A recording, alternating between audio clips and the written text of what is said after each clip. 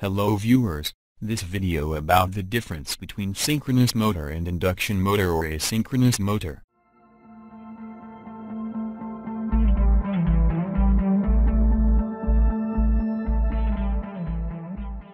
AC motors can be divided into two main categories, I, synchronous motor and, 2, asynchronous motor.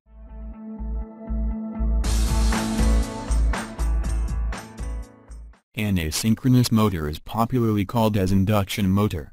Both the types are quite different from each other. Major differences between a synchronous motor and an induction motor are discussed below.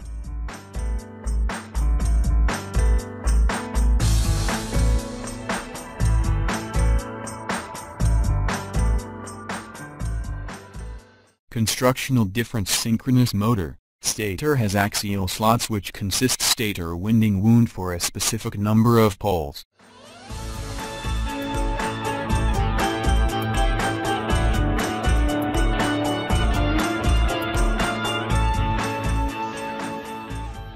Generally a salient pole rotor is used on which rotor winding is mounted.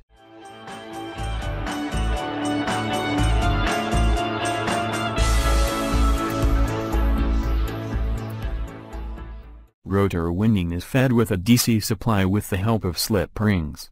A rotor with permanent magnets can also be used.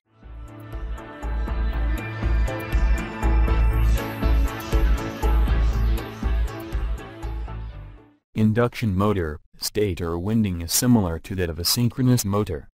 It is wound for a specific number of poles.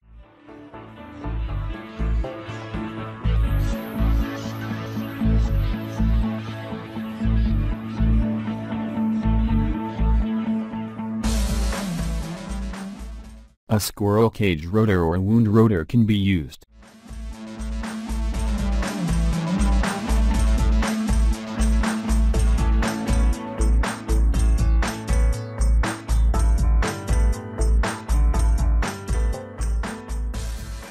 In squirrel cage rotor, the rotor bars are permanently short-circuited with end rings. In rotor, windings are also permanently short-circuited, hence no slip rings are required.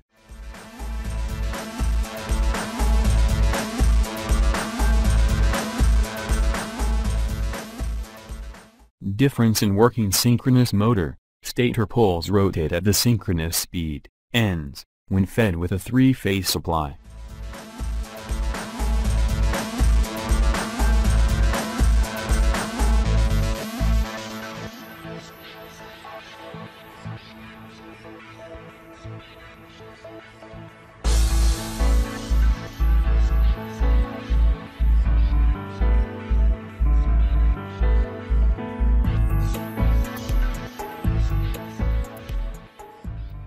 The rotor is fed with a DC supply.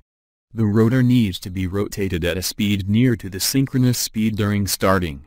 If done so, the rotor poles get magnetically coupled with the rotating stator poles, and thus the rotor starts rotating at the synchronous speed.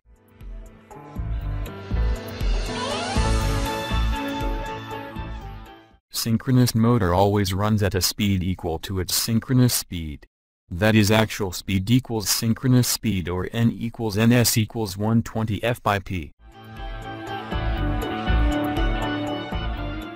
Induction motor, when the stator is fed with two or three-phase AC supply, a rotating magnetic field, RMF, is produced.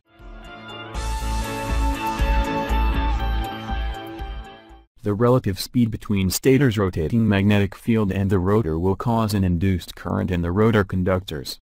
The rotor current gives rise to the rotor flux. According to Lenz's law, the direction of this induced current is such that it will tend to oppose the cause of its production, that is relative speed between stator's RMF and the rotor. Thus, the rotor will try to catch up with the RMF and reduce the relative speed.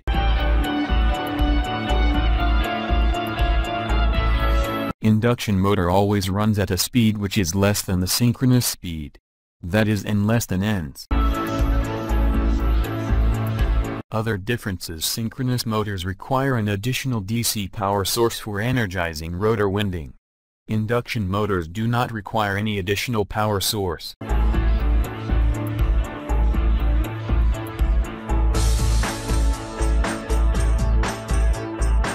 Slip rings and brushes are required in synchronous motors, but not in induction motors, except wound-type induction motor in which slip ring motors are used to add external resistance to the rotor winding.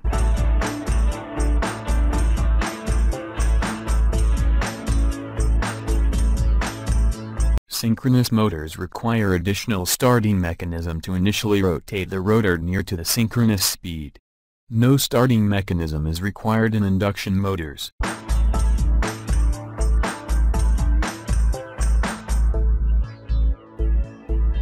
The power factor of a synchronous motor can be adjusted to lagging, unity or leading by varying the excitation, whereas, an induction motor always runs at lagging power factor.